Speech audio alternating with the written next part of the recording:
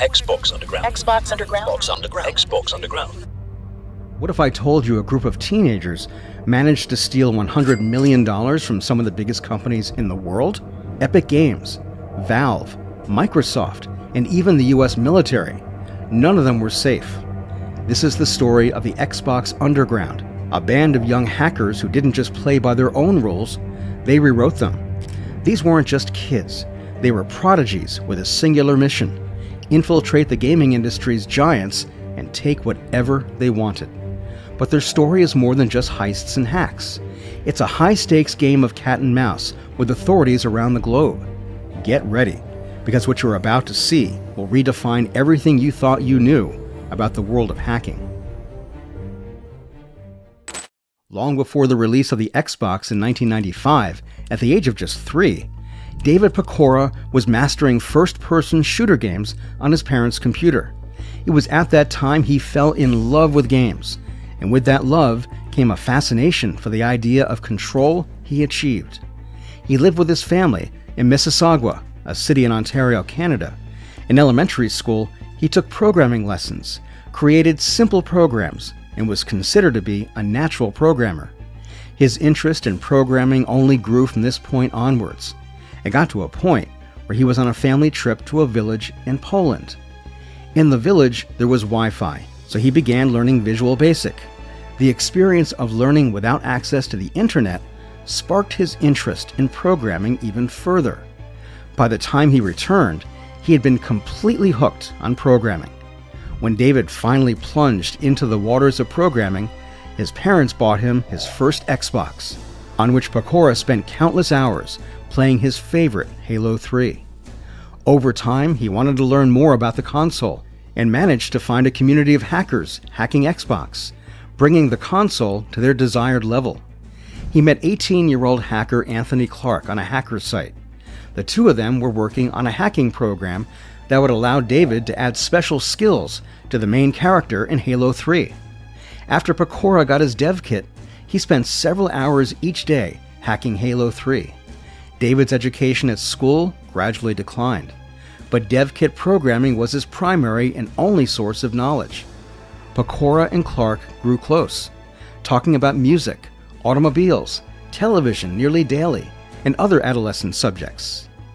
Hackers intercept communication between the processor RAM and flash memory chip by reverse engineering the console. Bruce Schneier, a cryptography specialist, dubbed the finding kindergarten security. The Xbox was able to run Linux, homebrew programs, stream music, and simulate other game systems like Nintendo by having Microsoft leave the decryption key for booting the machine in an accessible memory location. All that was required was to reflash the device. David started polishing his cherished Halo as soon as he found out that this was feasible. David learned how to alter the game's mechanics to add digital water to landscapes and turn blue sky into rain by interacting with hacker communities on IRC. The Xbox 360 remained virtually invulnerable until late 2009 when security researchers finally discovered the weakness.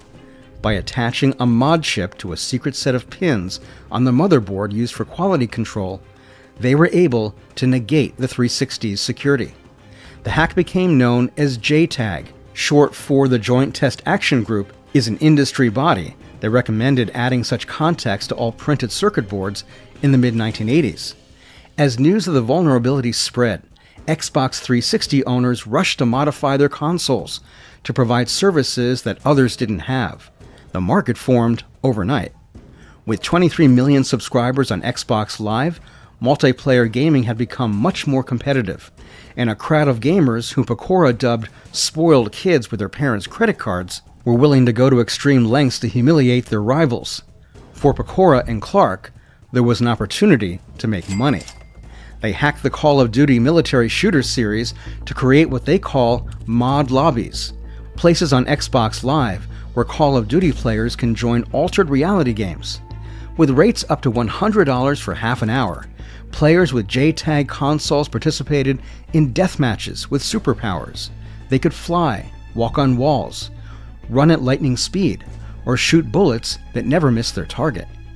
For an additional 50 to $150, Pokora and Clark offered infections.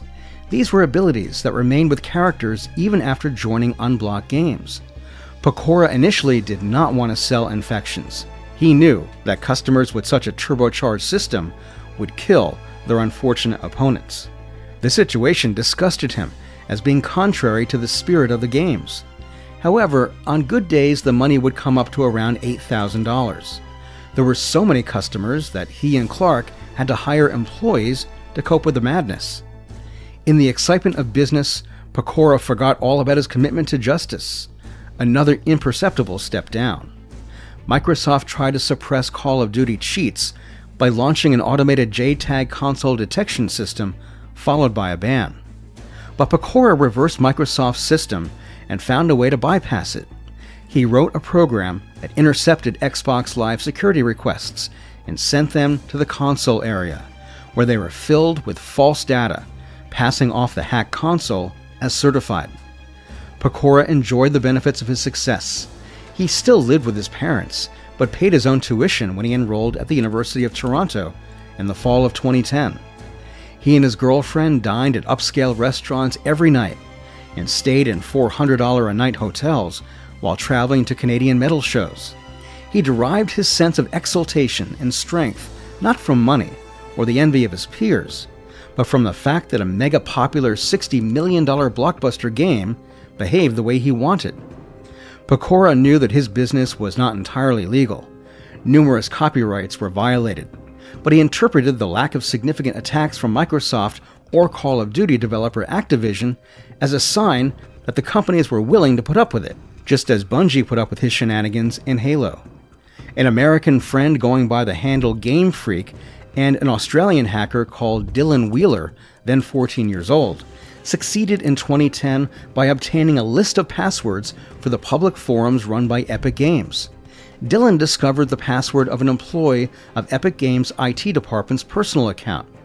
Now that the two hackers were inside the Epic network, they required more help. Dylan, who was acquainted with David from the forums, requested David's assistance in extracting Halo cards from the PartnerNet network, which is partially open, and breaking into the secure closed network that houses the company's sensitive information. Even though these activities are obviously more illegal, David's curiosity won out, and he decided to assist Dylan as long as he complied with some simple guidelines, including not utilizing credit card information or disclosing private information about Epic customers. Owing to the massive quantity of material they discovered, they brought in another hacker from New Jersey, Sonadoda Sonic, who downloaded a copy of Gears of War 3 and a ton of confidential data regarding video games made by Epic Games, which he then forwarded to David. David sent his distributor, Justin May, the game, among other acquaintances. A copy of the game surfaced on the forums as a torrent in a matter of days. Following reports of the Gears of War 3 leak, the FBI launched an investigation. Through reviewing emails from Epic Games, the FBI discovered the existence of a hacking organization.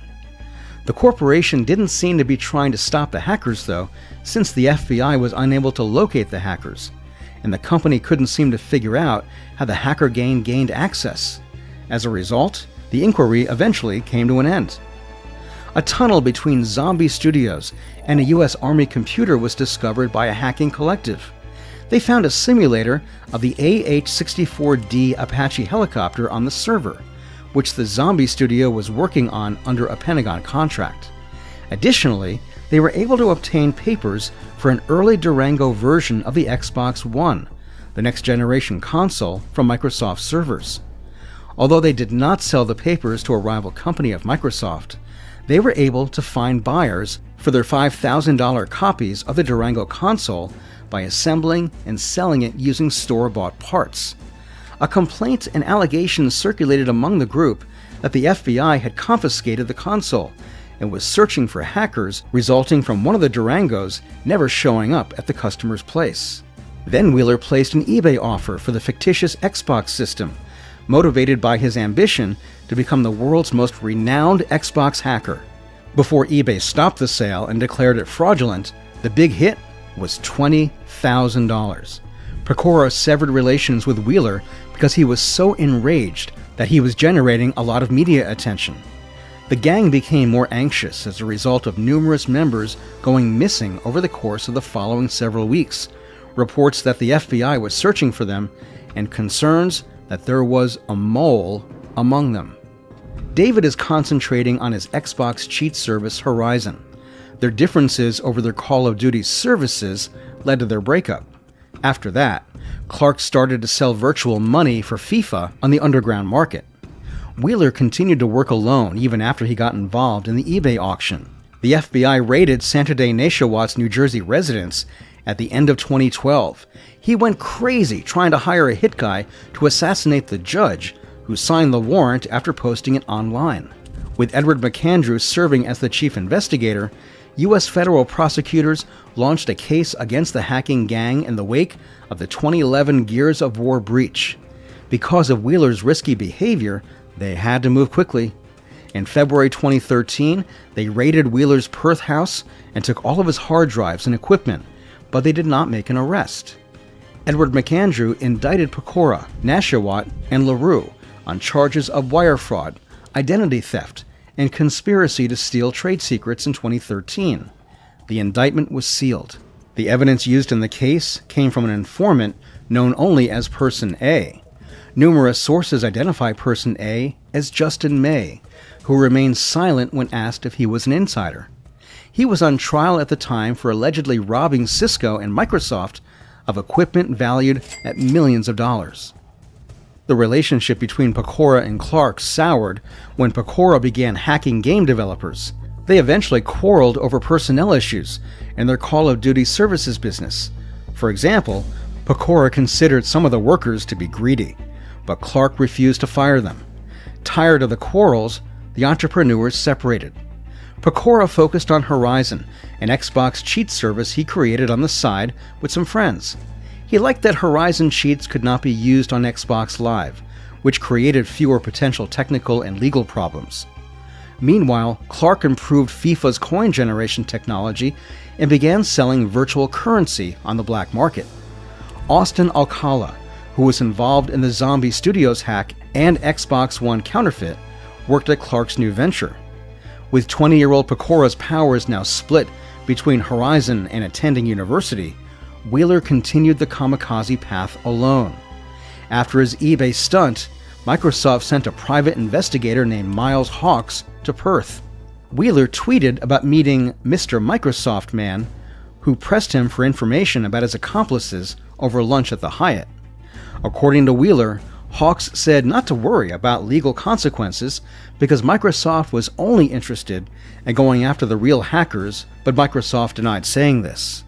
In December 2012, the FBI raided the home of Sanadodeh Nesheiwat in New Jersey. He posted the unredacted search warrant online. Wheeler responded by doxing the agents in public forums, encouraging people to harass them he also openly talked about hiring a hitman to kill the federal judge who signed the warrant. Wheeler's strange, impulsive attempts to escalate any situation have alarmed federal prosecutors, who have been carefully building a case against the hackers since the Gears of War leak in June 2011. Edward McAndrew, the assistant U.S. attorney leading the investigation, felt the need to quicken the pace of his team's work before Wheeler got to the point of actual violence. On the morning of February 19, 2013, Wheeler was working at his family home in Perth when he heard a noise in the yard outside his window. A group of men in light tactical gear with Glocks at their sides was approaching the house. Wheeler began to quickly turn off all the computers so that the forensic scientists would at least have to work on cracking the passwords. Over the next few hours, Wheeler estimates Australian police took away $20,000 worth of computer equipment, the guy was dumbfounded that no one bothered to put his precious hard drives in anti static bags. He was not arrested that day, but a ton of evidence was found on his disks. Wheeler often took screenshots of his hacking exploits, including a chat in which he suggested running some kind of crazy program on the Zombie Studios server to explode the interest of fans. That July, Pokora told Justin May that he was going to attend DEF CON, the annual hacker gathering in Las Vegas, his first trip to the United States in years. On July 23rd, McAndrew and colleagues filed a sealed 16 count indictment against Pokora, Nesheiwat, and Leroux, accusing them of crimes including wire fraud, identity fraud, and conspiracy to commit theft, trade secret. Wheeler and Gamerfreak, the original source of the Epic password list, are listed as co conspirators. Alcala would be added four months later. The documents showed that much of the case was built on evidence from an informant called Person A. He's described as a Delaware man who took a fake Durango from Leroux's house and turned it over to the FBI. Prosecutors also described the defendants as members of a certain Xbox Underground community. Wheeler's prison joke was no longer a joke. Unaware of the secret indictment, Pokora canceled his trip to DEF CON at the last minute due to work commitments. FBI agents worried that the arrest of his American accomplices would prompt him to flee, so the agency decided to wait for his trip south before shutting down the remaining hackers. Two months later, Pokora went to the Toronto Opera House for a concert by the Swedish metal band Katatonia. His phone buzzed with the first screams from the stage. It was Alcala, now a senior at Fishers, Indiana. He was gushing with delight. He said he knew a guy who could get both of the latest Durango prototypes, real ones, not copies, as they did in the summer. An acquaintance of his is ready to break into the Microsoft campus building in Redmond to steal them. In exchange, the hacker demanded credentials to log into the Microsoft Game Developer Network, plus several thousand dollars. Pokora was puzzled by the audacity of the novice robber. This guy is stupid, he thought. But after many years of successful adventures, Pokora lost the habit of listening to common sense. He told Alcala to keep him posted. Armin, also referred to as Armin the Cyber, is an 18 year old high school graduate who consented to tell his story under the condition that his last name not be revealed. A year earlier, he cloned a Microsoft employee badge that belonged to his mother's boyfriend. Since then, he's repeatedly used the RFID card to explore the Redmond campus, passing as an employee and dressing head to toe in Microsoft swag. Microsoft says the guy didn't copy the badge, but rather stole it. Armand has already taken out one Durango for personal use. He was afraid to return for another, but he was also filled with the recklessness of youth. After an appearance in federal court in Buffalo and several days in a nearby county jail, Pokora was loaded into a van with another federal inmate, a gang member with the arms of a powerlifter and no discernible neck. They were transported to a private prison in Ohio, where Pokora will be held until the court in Delaware begins proceedings. According to him, the guards threw sandwiches to the prisoners on the floor of the van, knowing that the tightly shackled prisoners could not bend down and take them. A gang member doing time for hitting a guy with a hammer told Pokora during the three hour ride that he should try to spend as little time in prison as possible, saying, This life is not for you. Honestly, no one is meant for this life. Pokora took the words to heart when he was flown to Delaware in early 2014. He quickly accepted the proposed plea deal and helped the affected companies identify the vulnerabilities he had exploited, such as weakly protected tunnels through which he entered their networks. Listening to Pokora's professorial explanation of his hacks, Chief Prosecutor McAndrew now spoke flatteringly of the 22 year old Canadian. He's a very talented guy who went down a bad path, he said. Often, when investigating these things, you can't help but admire a certain level of brilliance and creativity. This is where you step back and say, This is where everything went wrong. One day, on the way from prison to court, Pokora was put in a marshal's car with someone who seemed familiar a pale, thin 20 year old guy with teeth accustomed to sweets. It was Nathan Leroux, whom Pokora had never met in person but recognized from a photograph. He was arrested on March 31st in Madison, Wisconsin, where he had moved after the FBI raid. That raid scared him enough to abandon the Xbox stage and go into hiding. He was thriving in his new life as a programmer at Human Head Studios, a small game studio, when the feds showed up and took him into custody. Under Pokora, Leroux was released on bail and allowed to live with his parents while the case was being considered. But raised in Maryland, he was convinced with his diminutive stature and shyness, he was simply doomed to be raped or killed in prison. Fear took over him so much that on June 16th, The guy cut off the police bug on his ankle and ran away. He paid a friend to take him to Canada, 600 kilometers north. But the long trip ended in failure. The Canadians called their car at the border. Instead of accepting failure, Leroux pulled out a knife and tried to cross the bridge onto Canadian soil. As officers surrounded him, he decided he only had one option left and stabbed himself several times. Doctors at an Ontario hospital managed to save the guy's life. Once he was released from intensive care and transported back to Buffalo, authorities revoked his bail. When it came time for Pokora's sentencing, the lawyer asked for leniency on the grounds that his client had lost the ability to distinguish between a game and a crime. After pleading guilty, Pokora, Leroux, and Nesheiwat ultimately received similar sentences 18 months in prison for Pokora and Nesheiwat, and 24 months for Leroux. Pokora spent most of his time at the Federal Detention Center in Philadelphia, where he sat in the computer room reading email and listening to MP3s. One day, while waiting for the console to open, a mentally unstable prisoner hit him in the face, and Pokora fought back so as not to look like a weakling. The fight ended when a security guard sprayed pepper spray. After completing his prison sentence, Pokora spent several months awaiting deportation to Canada in an immigration detention facility in Newark, New Jersey. There were also PCs in the library, and Pokora had to use a little hacking skills to launch the hidden Microsoft Solitaire, which is prohibited from launching by default. When he finally returned to Mississauga in October 2015, he wrote to old friend Anthony Clark, who was now facing justice. Alcala told authorities all about Clark's coin mining scam. The company had already been on the tax authorities' notice. One of the employees came under suspicion after withdrawing $30,000 from a bank account in Dallas in one day. Alcala helped the feds put the pieces of the puzzle together. He explained that the system uses Electronic Arts servers to generate thousands of coins per second. The software code automated and accelerated FIFA gameplay by more than 11,500 times. Thanks to this information, it was possible to charge Clark and three accomplices with wire fraud.